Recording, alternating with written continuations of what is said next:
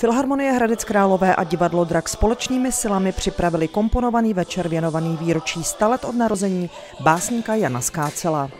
Ve zcela zaplněném sále Filharmonie Hradec Králové vystoupil nejdříve soubor Hradišťan s Jiřím Pavlicou. Budou to vlastně písně eh, nebo zhudebněné verše Jana Skácela, které budou prokládány recitacemi v podání herců divadla Drak. A na pódiu se skutečně recitovalo i hrálo a příznivci Hradišťanu si přišli na své.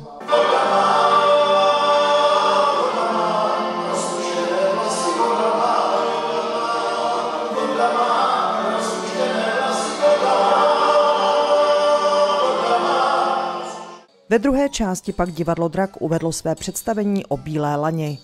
To se rovněž opírá o zhudebněné verše Jana Skácela a autor hudby Jiří Vyšohlíd za toto představení pozbíral celou řadu cen, včetně té nejprestižnější, ceny divadelní kritiky. No právě ta Bílá laň pro mě, a to má společného i s Janem Skácelem, že ani nevím, čím to úplně přesně vzniklo, že ta muzika mě strašně bavila, když jsem to dělal a ono taky, ty texty skácela, ty básně jsou v něčem takový, že tu hudbu jako chtějí. Pro Filharmonie Hradec Králové a divadlo Drak byl tento projekt krokem k další možné spolupráci.